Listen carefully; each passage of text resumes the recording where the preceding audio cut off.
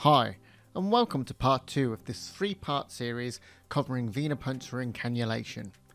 In this video, we are going to examine the process of cannula insertion and the appropriate equipment required. An assessment of the patient must occur prior to the insertion of a cannula.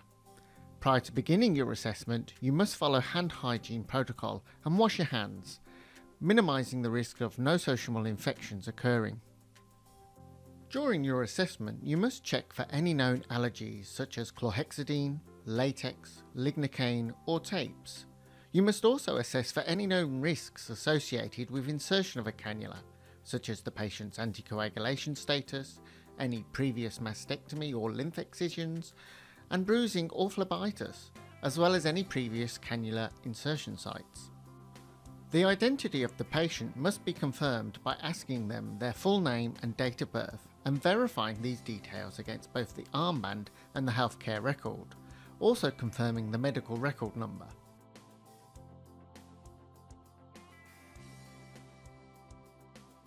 A dedicated peripheral intravenous cannula insertion trolley will be available within each ward or department. The trolley must be used for all PIVC insertions as it provides a clean environment to transport, lay out and use all the equipment you will use to insert a cannula.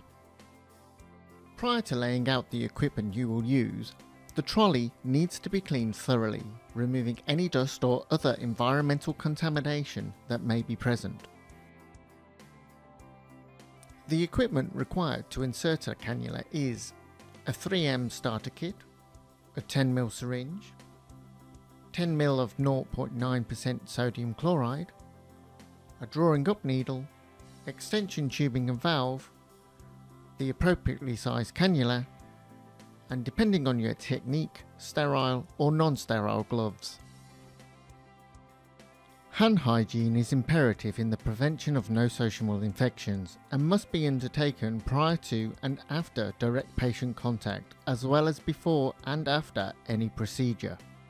The use of an alcohol-based antimicrobial hand rub or soap and water is recommended for the cleaning of hands, including before the wearing of gloves.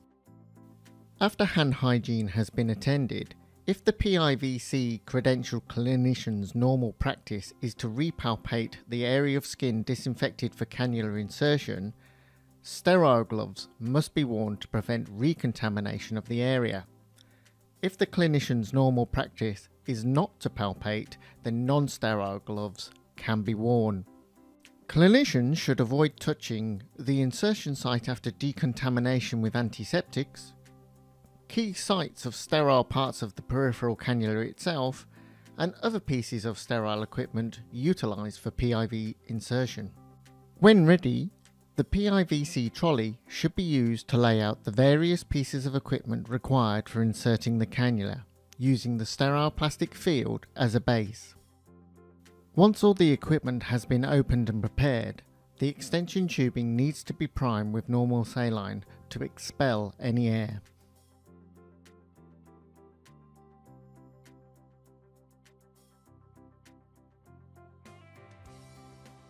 Vein selection depends on clinical judgment, but it is recommended to select veins distally and work proximately over time, avoiding areas such as the antecubital fossa and other flexing areas for non-emergency cannula insertion. If the selected area is soiled, then it should be cleaned with soap and water prior to proceeding with disinfection.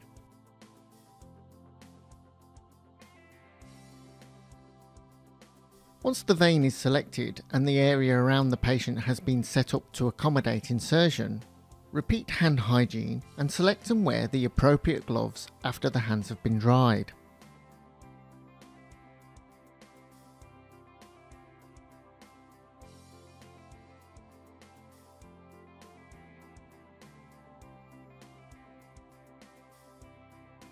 A disposable tourniquet should be applied at least 15 centimeters above where the cannula is anticipated to be inserted.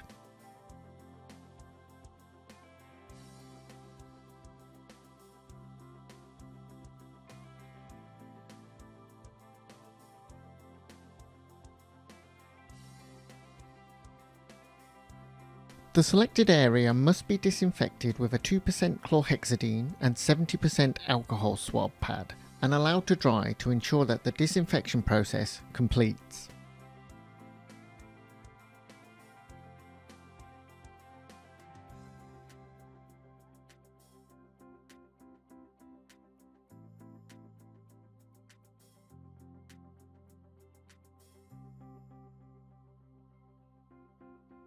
Prepare the cannula by removing the safety cover.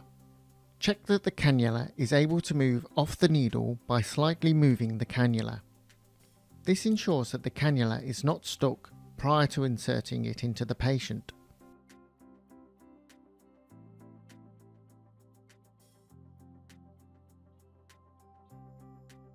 Insert the cannula into the chosen vein, observing for blood flow or flashback into the cannula hub. Once visible, hold the needle stylet still and advance the cannula forward into the vein until fully inserted and the needle stylet is safely housed in its safety device. Once successfully inserted, loosen the tourniquet to allow blood flow to resume normally. Whilst holding the needle safety device, place a piece of gauze underneath the cannula hub to assist in capturing any blood that may leak when the safety device is detached from the cannula. Obtain the extension tubing that was primed with normal saline earlier. Place digital pressure on the vein to obstruct blood flow. Disconnect the needle safety device and attach the extension tubing to the cannula hub. Flush the cannula with at least 5 ml of normal saline, observing for any reports of pain, swelling or blanching of the skin as the cannula is flushed. Clamp the extension tubing shut under pressure to ensure that there is no backflow of blood into the cannula. Once clamped, disconnect the 10ml syringe and remove the gauze piece from underneath the cannula. While still steadying the cannula, place the sterile, semi-permeable transparent dressing over the cannula to secure it in place.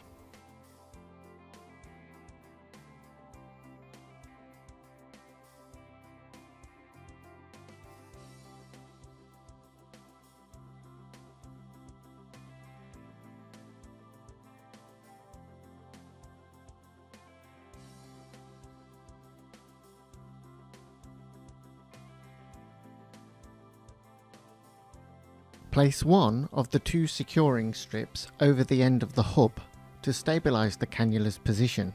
Using the second strip, place over the hub while also securing the extension tubing in place so that it is not loose.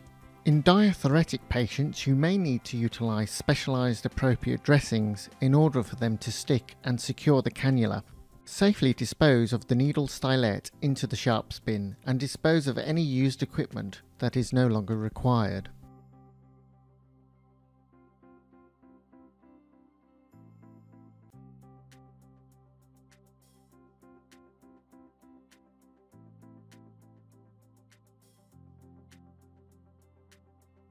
The date and time of the cannula insertion should then be placed onto the cannula dressing, utilising the adhesive sticker available.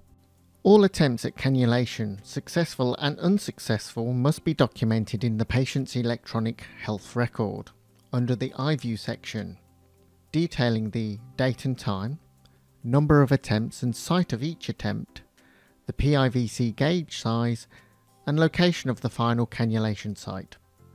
We have now reached the end of video 2 covering cannulation insertion.